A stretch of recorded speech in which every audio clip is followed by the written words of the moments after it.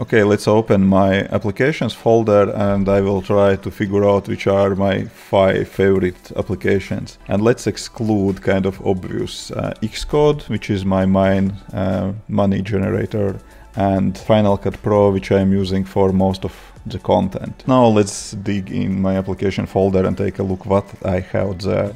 1Password definitely would go in the top 5 but Apple built-in password manager becomes stronger and stronger. I could live without 1Password and I could use just iCloud for password management. Oh, this one is interesting. Dev Cleaner. So Dev Cleaner actually looks very simple. Basically on the startup he, he's asking to provide access to those files, you see, hit open and then application will list uh, all the, for example, simulator logs, what else not, device support, for example. I have probably some, yeah, some older iOS simulator archives, maybe not in my case derived data you can delete all that stuff and currently I already have selected 8.5 gigabytes with some unnecessary uh, files which is generated by mostly by Xcode. And by hitting clean, you are just cleaning those from system. That application is free in the App Store. And if you are using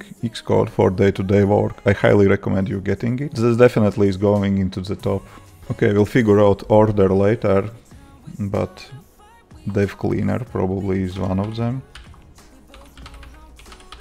Developer, hmm, it is Apple developer app and it is kind of useful and important during WWDC. You can still see all those videos online, but let's add it just in case we will don't have any other better candidates. What else? Discord? Mm, yeah, I don't know. Communications tools, those are kind of category in themselves because I could add here Discord, Slack, Twitter as well.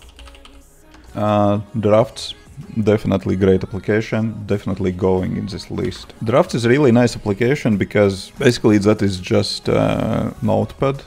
When you're opening drafts, you are opening new document and basically starting to write something. And after that, you can decide what you will do with that. And there are actions available. I'm not using those actions actively on MacBook. I have few actions which I'm using on iPad. Basically, there are endless function functionality. For example, I have daily journal template, Twitter splitter, for example. You can create different actions. For example, split longer text to tweets. You can just tweet directly from app and so on. I'm not using those shortcuts on Mac. I'm using those more on iPad.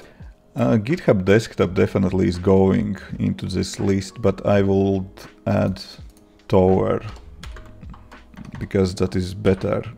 iTerm mm, built-in terminal app is good enough for me. It is necessary to have. I doubt you. I doubt you can really do development job without terminal app. We just have to include it. uh, Magnet app. Actually, currently I'm using Moom app which do the same that is for Windows management. It is not too critical anymore. When I used ultra-wide monitors then Windows management was more important. And this Moom application basically you can set some preset uh, configurations. You just say which application where should stay on which screen and when you just hit that uh, configuration then app will move applications around, arrange window size and all that stuff. What else? Oh, Microsoft Teams, I will be able to delete it finally. My notes do not use often, so not in my top. But it is cool sometimes just to draft some maps. Uh, for example, habit tracker. I was I had idea to build habit tracker application, and yeah, here is some kind of uh, map. I don't know for some brainstorming it kind of helps to kind of draft out some functionality, database, something like that. I do not use uh, mind mapping often, so I will not include that in the list, but it is a useful tool and sometimes. Notes and Notion, hmm. I am I am in life love-hate relationships with Notion. For example, I have different dashboards, kind of project management view for for my YouTube, videos and content and something like that. As I said, I have love-hate relationships with this application because it is kind of useful to to have it, but I don't like that it is online only. Quite often it is slow. Experience of writing is not great at all. So I don't know. I'm using it, but it is necessary to have some note-taking application, but for most of us, just notes, in my opinion, will be good enough. And if I need to write something quickly, I'm opening, yeah, drafts application, and then I decide where this note will go to.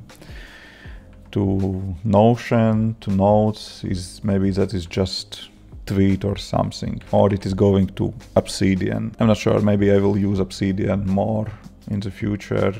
Currently, I I use it hmm, time to time. You can create Kanban boards here, you can create notes, you can link notes.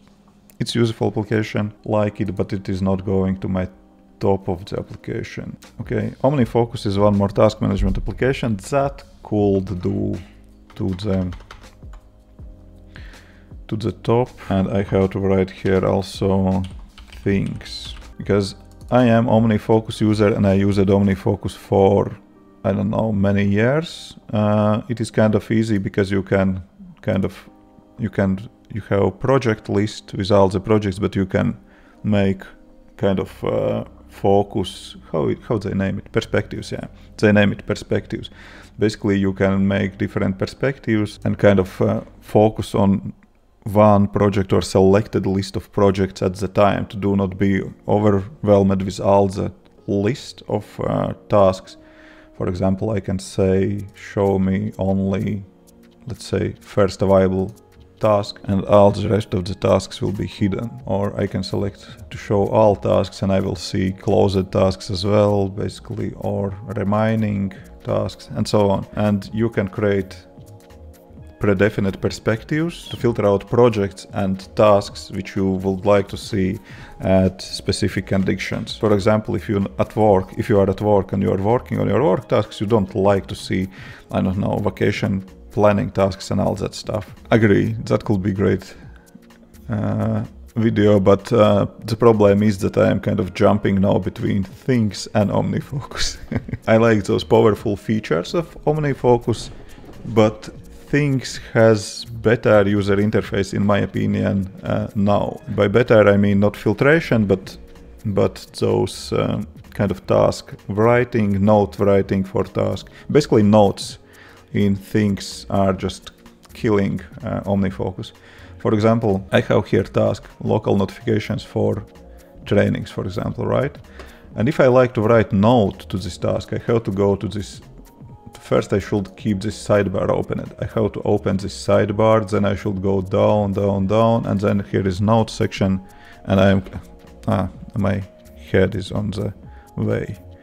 Let me let me change a little bit. I'm showing you things which you don't don't see. So let me move it here. So basically here on the bottom is note section, and I can write notes here and that's not very useful and that is not easy when you browse to see them. For example, I'm opening this task and to see if I have a note here, I have to move my eyes down to take a look here, but in things that is different. In things, for example, like here I have task list and I can open it and I see notes here and their notes are very powerful. They are supporting markdown, you can make uh, checklists, whatever in that note section. Uh, yes, I'm using perspectives in OmniFocus. And for perspectives, for example, when I was working in product management uh, in my day job for company, uh, then I had, uh, for example, work perspective, of course, and then I just in work in work perspective I had only my uh, day job tasks. Currently, everything is red because deadline was yesterday for all the tasks. Don't worry about that. If you will check, for example, today, that is predefined uh, focus in OmniFocus applications that will show only today tasks. But if you will check to the work, that is task, that is perspective which is defined by me. I decided which projects should be included this perspective and also I decided how to order it. I, there is selection to order it by projects and show only available tasks. I have a few more custom perspectives, for example, I don't know, soon, that is kind of just tasks which are should be done in uh, next 24 hours are or already postponed.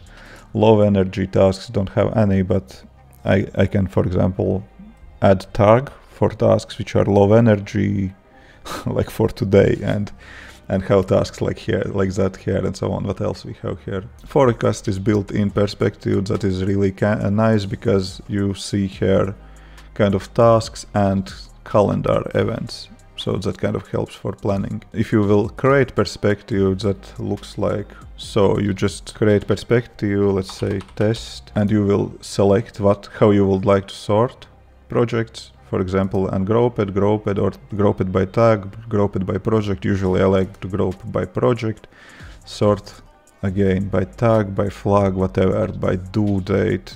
You can change grouping, and then you just add uh, what, whatever projects you would like to see. Okay, I do not see anymore where you're adding, but basically you are adding uh, projects which should be included in that perspective. That can be at least one YouTube video about creating uh, OmniFocus perspectives. That is kind of long topic, but uh, unlikely I'm going to do that because there are already full YouTube with OmniFocus how-to videos. Okay, we got a little bit distracted, right? So OmniFocus or things that actually it is kind of uh, necessary to have something like that for task management. Okay, what else I have? Postman. Mm, Postman is kind of good application if you need to test some API calls or something like that. I do not use it often, but sometimes I do. It is not necessary for me application, but I can see how it can could be must-have tool for someone. Tower, yeah, that is really great application. I'm using it and loving it for mm, for GitHub. If you are using a solo developer probably it is not necessary to have it. Then even kind of built in uh, GitHub client in the Xcode will be good enough for you or just command line to push changes and so on. And in this project I'm a single developer so there is not so much to see, but if you are working in project with multiple developers, you will see each developer commits here, and that is really handy that you can just go to specific comments, uh, see what was done without checking out that branch or do whatever, and you do and you can do cherry pick that commit to move it somewhere over to your branch and all that stuff. All the possible uh, Git actions with nice and really handy user interface. That is Tower. I believe that if you are working in the team with other developers, then good GitHub client or GitLab client is kind of necessary thing. Because yeah, you can do what all of that in terminal, but when you start to do kind of harder tasks in, in Git, for example, mer solving merge conflicts, comparing different versions, all that stuff, then, then I would prefer to have better tools. So what we have here. Uh, developer and dev cleaner will go lower in the list, I would say. Developer is kind of nice to have application, but you can see all those sessions in the web as well, so it is not necessary and there is actually third-party application developed by Giorembo, whatever, that guy who developed um, Airbuddy application. So I will move drafts below tower and below task management apps. iTerm. It's hard to say about terminal application. Terminal application is just necessary to have for development work, for at least to run homebrew and install Cocoa pods and all of that stuff. Yeah, currently Swift package management tools are kind of rising and Cocoa pods are not kind of necessary anymore. But anyways, even yesterday I used terminal to delete to delete uh, Facebook uh, library from one of the customer projects and so on. So terminal app is necessary. GitHub management app it is necessary. Task management apps uh, those are necessary as well. Without them, of course, you can you can keep notes somewhere, but then you have to put something else instead of the task management application here in the list, right? Or you can try to leave on GitHub uh, tasks, for example. You can leave on something, but anyways, then you will need something else instead. Task management application and task management application is universal. You can you can add development tasks here. You can keep grocery list here. You can keep list of uh, gift ideas for your wife and kids or whatever, everything. I would say that without task management application, I could not really live. That is going to the top of the list. I really need it.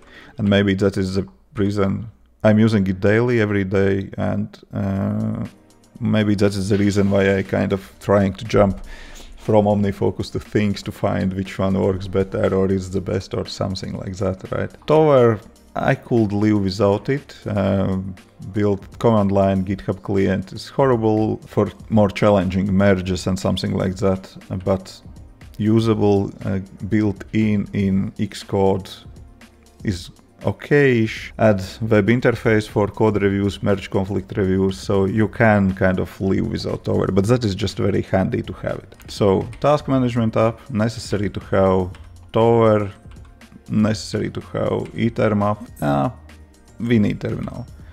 Drafts is just very handy, note taking up, dev cleaner.